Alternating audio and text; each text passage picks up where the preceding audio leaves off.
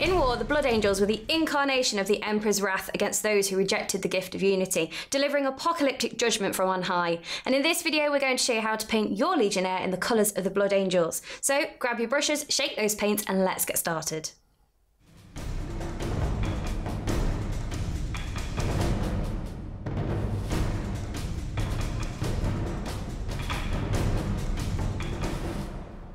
First thing we need to do is undercoat the model, and to do this we've used Mephiston Red. Then we're going to apply a thin down base coat of Mephiston Red, as it does have a slightly different finish to the spray can, and this will just help if we need to do any tidying up.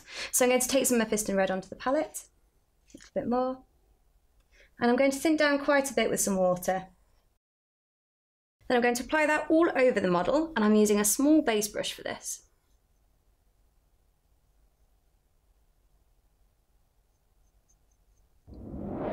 And with that done, we're going to move on to the other base coats. We're going to use Abaddon Black for the black areas, Leadbelcher for any silver, Retributor Armour for the gold, and then Caliban Green for the eye lenses. So I'm going to take some Abaddon Black here onto the palette, thin it down, a little bit more water, roll my brush up to a point, and then I'm going to apply that onto the gun casing and the backpack.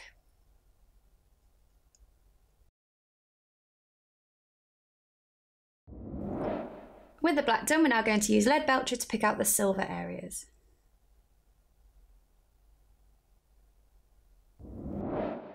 Next, we're going to use Retributor Armour on those gold areas. If you do make any mistakes, you can always tidy back up.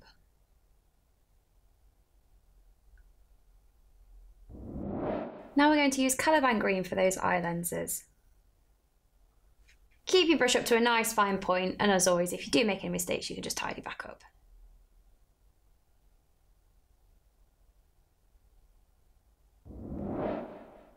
With those base coats done, we're now going to apply contrast. So we're going to use Basilicanum Grey, thinned down with contrast medium. So I'm going to take three parts contrast medium. That's one, two, and then three. Quick rinse of my brush. Then one part Basilicanum Grey. Mix that together there. Just making sure not to overload my brush. I'm going to take some of that off. And then I'm going to apply that all over the black, the silver, and the gold. And I'm also going to apply it into the recesses of the power armour.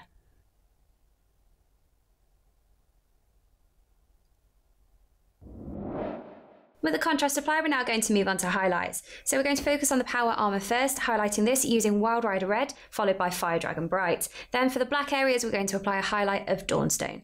So I'm going to take some Wild Rider Red onto the palette. And I want this to be quite thin, so I'm going to add some water there.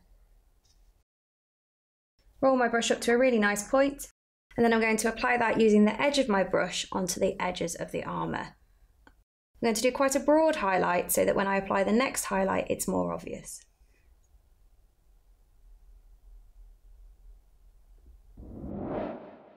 Now we're going to use Fire Dragon Bright as an edge highlight, trying to keep it thinner than the previous highlight.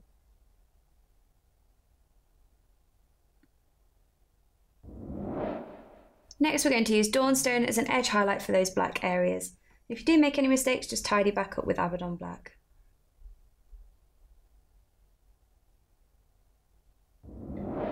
With those highlights done, we're now going to work on the metallics. So we're going to layer up the silver using Iron Hand Steel, layer up the gold using Liberator Gold, then apply a highlight to both using Stormhost Silver. So I'm going to take some Iron Hand Steel onto the palette, a little bit more, thin it down with just a touch of water, roll my brush up to a point. Then I'm going to use that to pick out the raised areas of the silver.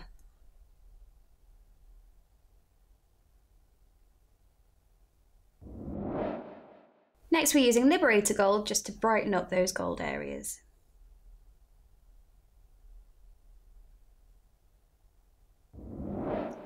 Now we're going to highlight the silver and the gold using Stormhost Silver.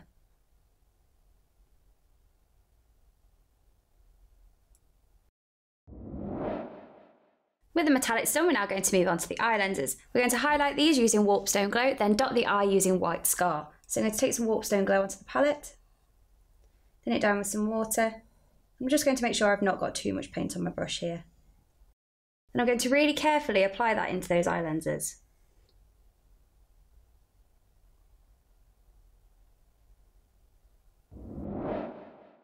Now we're going to dot the eye using White Scar.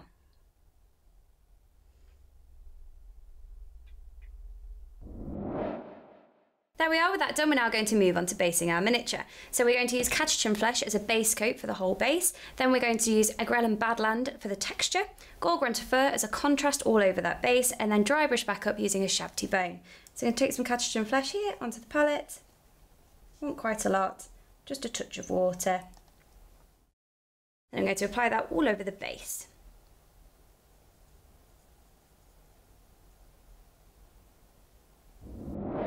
Next we're going to apply Agrellan Badland using the Citadel texture tool. You can use the smaller end just to move it more carefully around the miniature.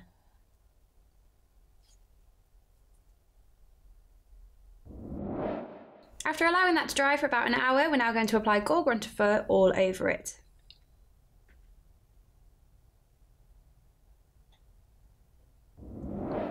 Once that's dry, we're going to apply a dry brush of this Shabti Bone. So I'm going to take some of that out onto my paper towel and work off just as much of that pigment as possible. Just want to leave a little bit on the bristles. That looks good. Then I'm going to apply that over the base and I'm going to build it up with a couple of soft layers. I'm also going to work it up onto the boots and the greaves of the model just to help tie it all together.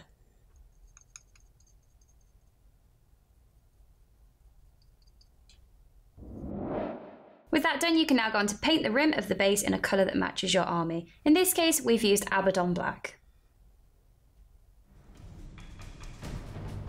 And there we have it, our Blood Angel Legionnaire is ready to make their enemies cower before the Legion's wrath and splendour, lest they too wish to perish.